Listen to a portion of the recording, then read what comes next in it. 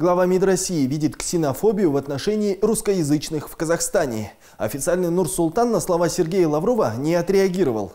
Дочь бывшего президента Казахстана и депутат Дарига Назарбаева в ответ на просьбу Азатыка о комментарии по следам публикации Лаврова заявила, что подверглась атаке.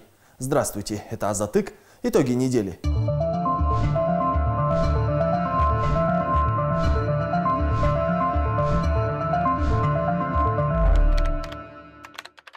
Министр иностранных дел России Сергей Лавров опубликовал на этой неделе статью о сотрудничестве с Казахстаном. В публикации говорится о союзнических отношениях, экономическом партнерстве, диалоге между двумя соседями.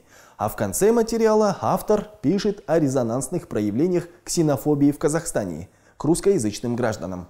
Лавров, один из высокопоставленных российских чиновников, примкнул тем самым к ряду других московских политиков, которые на протяжении последних месяцев заявляли якобы об ущемлении прав русского населения в Казахстане. Казахстана просто не существовало, Северный Казахстан вообще не был заселен. Но, но казахи и, и, и, и, и так далее. Они существовали, да, они существовали. Волна обвинений в русофобии нарастала перед парламентскими выборами. Сначала несколько депутатов Думы назвали Северный Казахстан большим подарком России России и даже потребовали вернуть земли. Затем Россотрудничество, курируемое МИД России, усмотрело дискриминацию русских по языковому принципу. Некоторые эксперты связали эти выпады со стремлением политиков набрать очки перед голосованием в сентябре.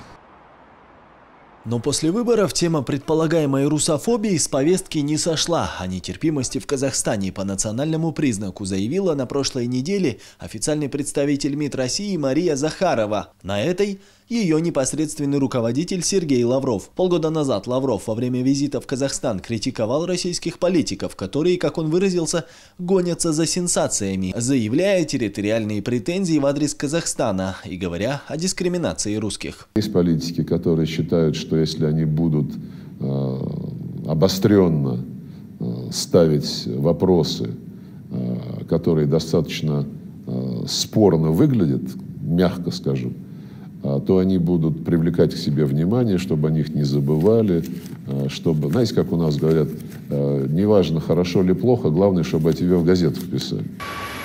Сергей Лавров, один из ближайших соратников президента Владимира Путина, сам написал в газете о ксенофобии в Казахстане, которую охарактеризовал как продукт применения извне информационных методик. Он также отметил, что государственные органы двух стран принимают совместные меры. Задействуются прямые каналы связи, вплоть до каналов администрации президентов. Государств членов ШОС. Официальный Нур-Султан никак не отреагировал на слова Лаврова, а Курда и МИД страны хранят молчание. Корреспонденты Азатыка спросили мнение депутатов казахстанского парламента. Несколько парламентариев сказали, что ксенофобии в стране нет и осудили слова Лаврова. Депутат Дарига Назарбаева отреагировала на просьбу журналистов своеобразно. Она попросила, цитата, «не совать ей в рот микрофон». Старшая дочь бывшего президента Казахстана так и не поделилась со затыком мнением о заявлении Лаврова. Она призвала выслать ей вопросы и записаться на интервью.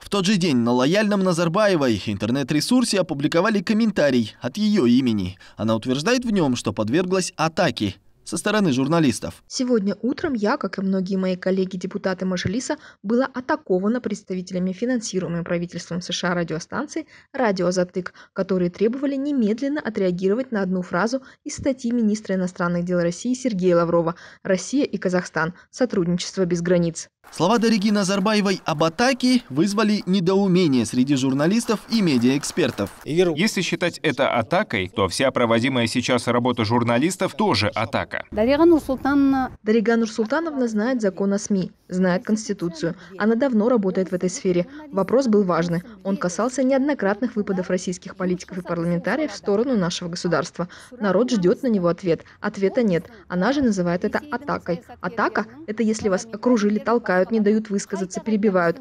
Там же был всего один вопрос. Если бы она всегда и в любом месте давала ответы, выражала готовность отвечать на заседаниях, то журналисты лишний раз не ходили бы за ней. На инцидент обратил внимание и бывший посол США в Казахстане Уильям Кортни, занимающийся сейчас политическими исследованиями. Кортни написал в Твиттере, что вопрос депутату от журналистов – это не атака, а попытка получить ответ от слуги народа. Коллеги Назарбаевой были осторожны в своих высказываниях и не спешили давать оценку ее действиям. Парламент В стенах парламента средства массовой информации задают нам вопросы. Мы обязаны на эти вопросы отвечать. Ту ситуацию я сейчас оценивать не могу. Кому и как отвечать – это дело депутата. Хорошо? Наверное, правильнее у коллеги лично об этом спросить. О чем написала Дарига Назарбаева в своем комментарии, кроме того, что была атакована? Она указала, что в Казахстане иногда случаются то, что она назвала отдельными проявлениями бытового национализма. И добавила, что и в России нет-нет тоже случаются ксенофобские проявления.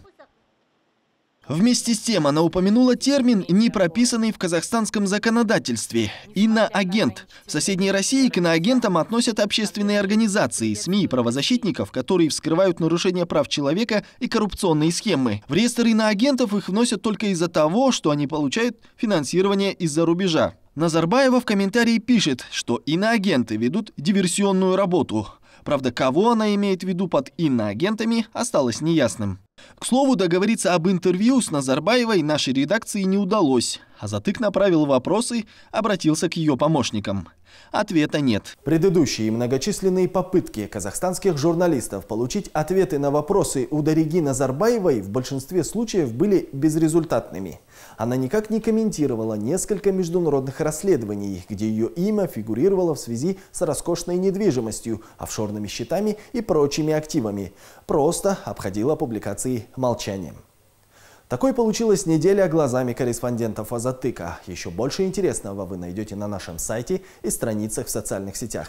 А это был проект Азатык. Итоги недели. До встречи.